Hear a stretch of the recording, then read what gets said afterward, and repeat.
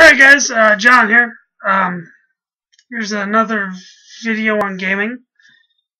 Um, I was looking through some of my books, and I was looking at some of my adventure modules. I got, you know, Dungeonland first edition. I got Halls of Undermountain and Doom Force for fourth edition. And I was wondering if anyone's ever given this a thought, if tying adventure modules together. And what I mean by that is not just by you you do one and then you do the other.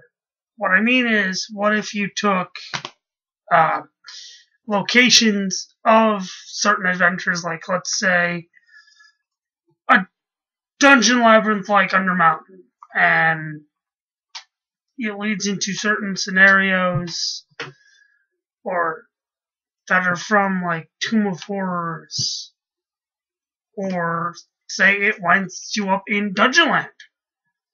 Um, if you don't know about Dungeonland, it's it's a Gary Gygax uh, module he wrote. It's really good. It's, supposed to be like uh, D&D players through Alice in Wonderland. It's really cool. Really good read. I, I do I do recommend it. But yeah, what if you take modules and just kind of take ideas. Just take ideas out, you know, like, oh, they're going through the PCs are going through this labyrinth of a dungeon. And they come across uh, the face of a devil with his mouth open like this. And, uh, you know, the the magic user checks for magic, detects magic, and and he said, There's very strange magic. Very strange. None that you've ever written. None that you've ever encountered. Or, or read about. So, you know, like, you know, they, they do some tests, they put a 10 foot pole, and the 10 foot pole actually disappears from them. It gets, like, sucked through. And so they get the stomach to go through, and then they wind up in, you know, strange world. You know, this really strange, maybe even harsh world, or maybe it doesn't have to be Dungeonland. Dungeonland itself is very uh, campy and cheerful, but they could wind up in another campaign setting. Like they could be in, you know, your homebrew setting, and then they wind up in Dark Sun. Like, what, what the hell is this? Actually, that would be fun. That would be fun. If you know anything about Dark Sun, that would be fun. Or maybe they don't wind up in like traditional dating. Maybe they wind up in Gamma World. No, I don't think that would be fun. That would be fun. Or a Gamma type world. Depends what you're running. But yeah, uh, on that note, yeah, uh, try to take things from modules and campaign settings. Even if you homebrew, you know, if it turns out it's for homebrew, it can it can be really fun when you take stuff. Anyway, off that note, uh,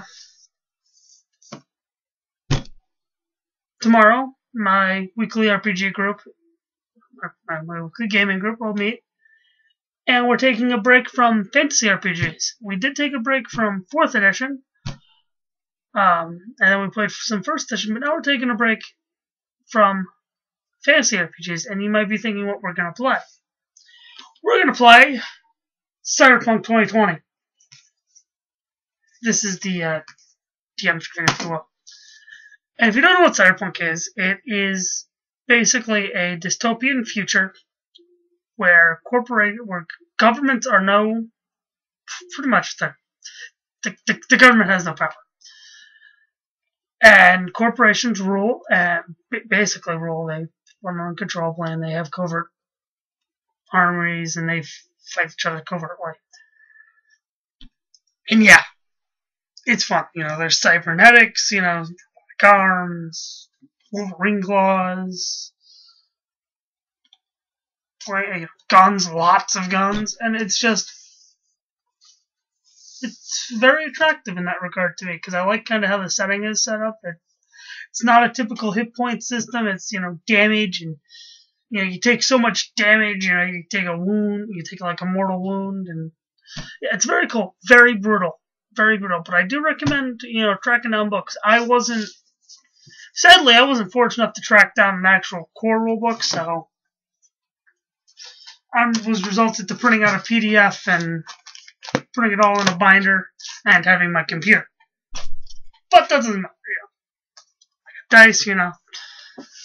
Yeah, at least I was able to get this, because, quite frankly, to run a lot of games, you really should have screens, because you should.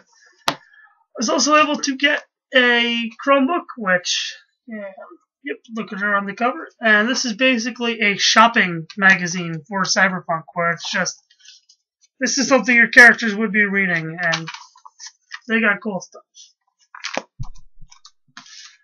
And uh, one reason we're doing this is because recently, um, CD Projekt Red, the guys who did the Witcher video game RPG, released that they're making a new Cyberpunk video game called 2077. And so I'm looking forward to that when it's done, when it's ready, because it looks awesome. But yeah, anyway, um, no, nothing to talk about. Uh, my uh, while back, I did a response to Samwise Seven RPG, Tim, uh, about his Hex World. I haven't forgot about you. I've been plotting it out more, been thinking more about it, uh, doing a lot of thinking about it, and I will get back to you. I, I will make a video response about it soon because I'm just I'm flushing it out. Anyway, um. Uh,